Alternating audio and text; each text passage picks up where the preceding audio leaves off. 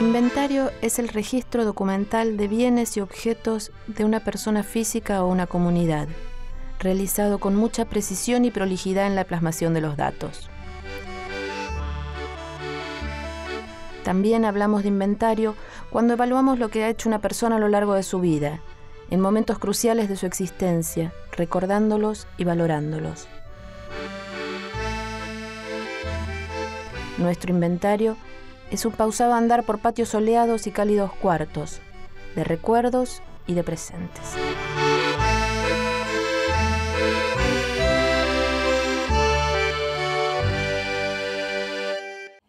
Contame cómo empezó todo, eh, digamos el principio, contame... ¿El principio? Y empezó No muy empieces mal. con el primer diente y eso, pero... No, pero ese te lo tengo que contar porque fue mi primera vergüenza. eh, A ver. Yo iba a la Escuela de Bellas Artes, me escapaba del Nacional, había repetido el, el industrial, un desastre. Y me voy y me anoto para dar el examen. En, eh, entro a la Belgrano, en la Belgrano. Y la segunda clase de grabado tenías que ir con los bocetos. Entonces yo había hecho unas cosas desastrosas porque quería en esa época tener 16 años, 17, que era Picasso, ¿viste? Unas barbaridades atrás. Cuando llego ahí veo que todos los tipos y chicas mostraban unos dibujos maravillosos, unas cosas. Y cuando me toca a mí mostrar lo mío, Cristina Gómez Moscoso, no me voy a olvidar nunca, y creo que gracias a ella seguí grabado.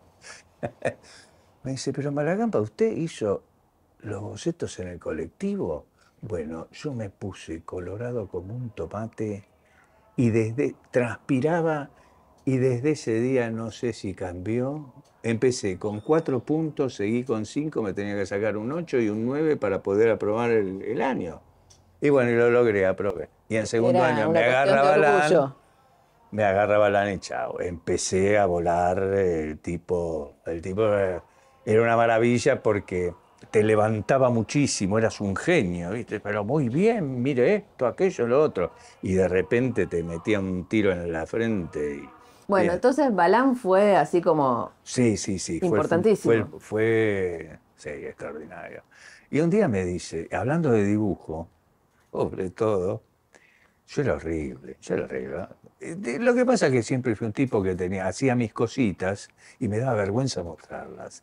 Y era el tipo le daba bola a eso, ¿entendés? Y eso fue también lo que me gustó.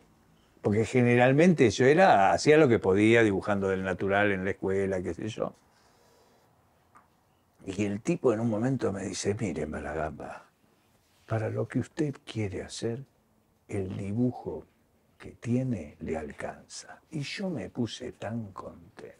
Claro, no me ¡Qué falta. maravilla! Pasan los años, salgo de dar clases de Avellaneda, iba cruzando el puente Pueyrredón y no sé por qué, daba dibujo y daba grabado.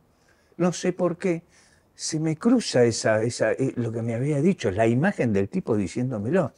Y yo digo, pero qué hijo de las mil mismas, me mató, me había matado y yo no me había te dado cayó la cuenta. ficha muchísimos años más tarde. Pero después de tanto tiempo, evidentemente aprendí. Evidentemente aprendí. Yo sí puedo decir que soy un tipo que aprendí. Porque era, era tronco, era tronco. Como me dijo un día el flaco Atila en un taller. Yo había visto que había desarrollado un dibujo de una manera que no era mi manera de hacerlo y que no me había movido el caballete. No me había movido, había estado concentrado prácticamente media hora sin moverme. Y en un momento viene el flaco y me dice, ve, ahora ya no sos más un tronco. Y yo ya empecé a sacar pecho. Ahora sos un tronquito. Un tronquito. Claro. y ahí empecé, ahí empecé.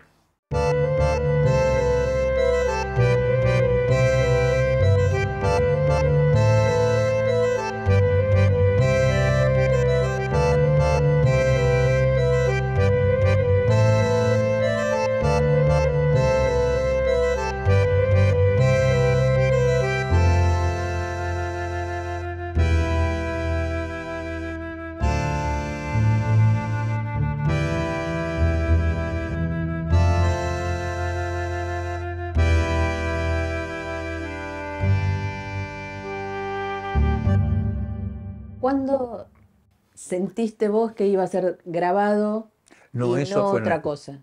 en la escuela.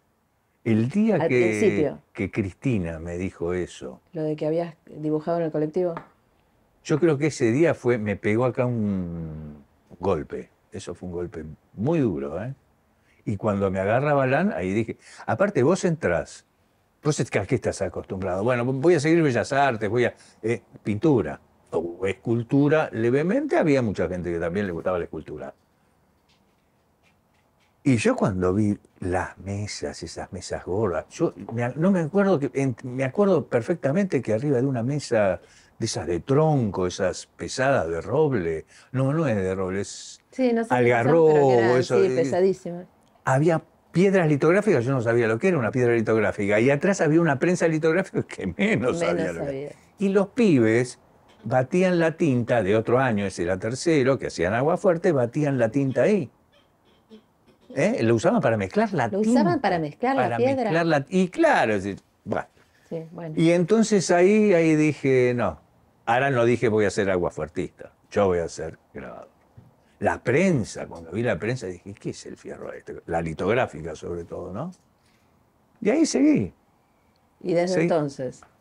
Y desde entonces sí, no paré y me dediqué pura y exclusivamente cuando venía peleándola hasta el 80, ponerle...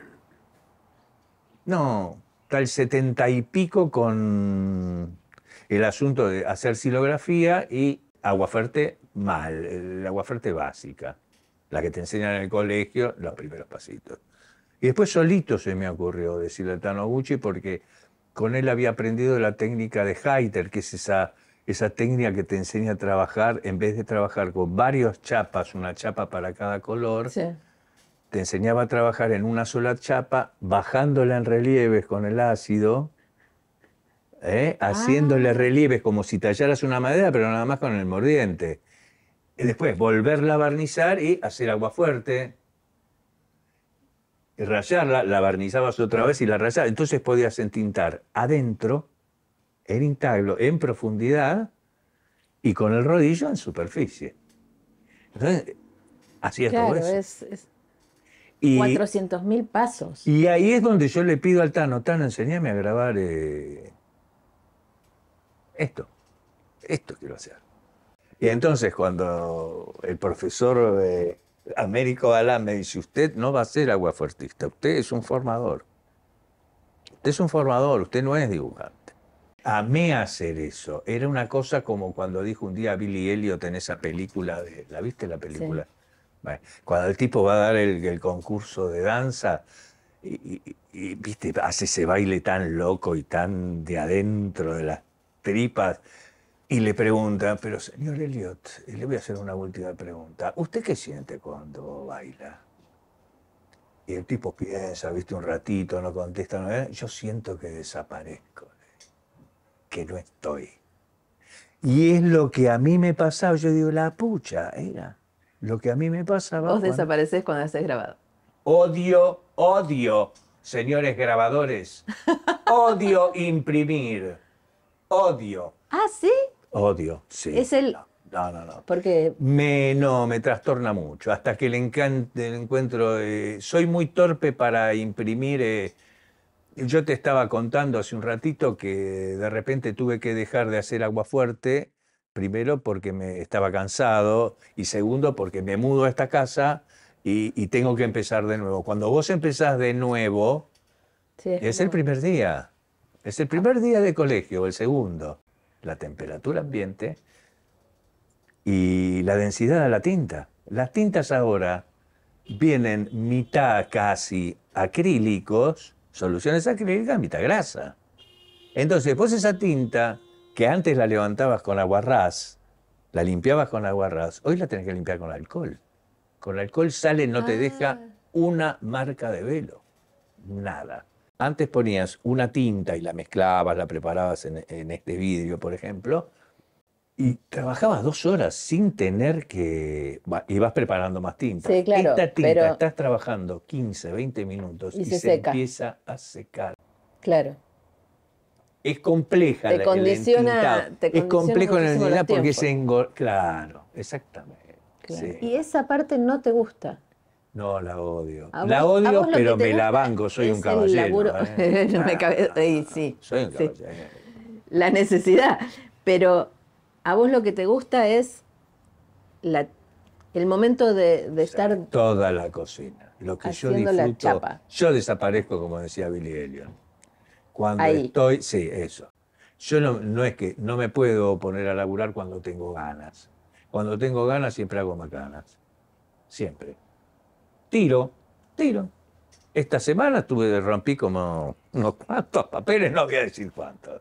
No lo digas. Y bueno, cuando no tenés ganas, estás más o menos, ese es el momento que me pongo a trabajar. Es el comenzar. Después cuando ya me metí, Como una cosa de disciplina poner. sí, sí, sí, sí, te empezás a meter. Pero reconozco soy torpe, yo miro la tinta y ya me manché hasta acá.